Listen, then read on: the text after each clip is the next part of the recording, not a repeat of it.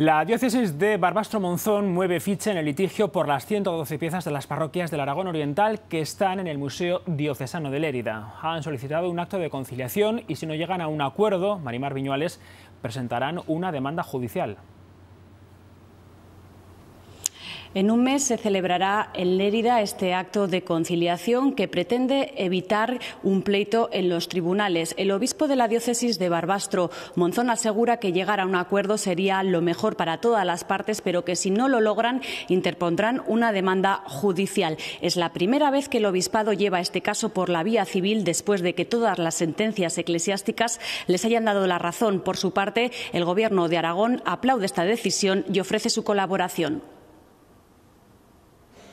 Al obispado de Barbastro Monzón se le ha agotado la paciencia. Piden un acto de conciliación para que tanto el obispado como el Museo de Lerida reconozcan la propiedad aragonesa de los 112 bienes y procedan a su devolución y no pierden la esperanza.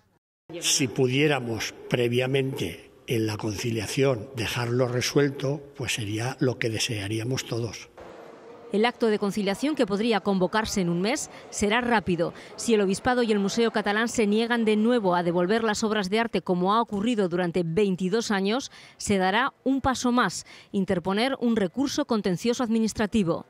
El obispado, desgraciadamente, porque lo ha intentado evitar por todos los medios, pero también es verdad que ha llegado un momento en que piensa de que la única vía, vamos, de que la única vía que queda es iniciar este, este proceso y por lo tanto si eso se irá por todas, pues va por todas.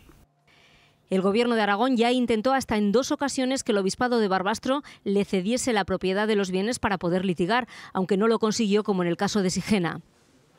Entiendo que, bueno, que se han dado cuenta que es la única solución posible y que han decidido ir por esta vía. Por lo tanto, nosotros aplaudir esa decisión y, como siempre, ofrecer la colaboración del Gobierno de Aragón en cuanto sea posible para la recuperación de ese patrimonio. Dos décadas en las que los tribunales eclesiásticos han dado siempre la razón a Aragón y a los que el Obispado de Lerida ha desobedecido una y otra vez. Ahora las próximas sentencias puede que no lleguen del Vaticano.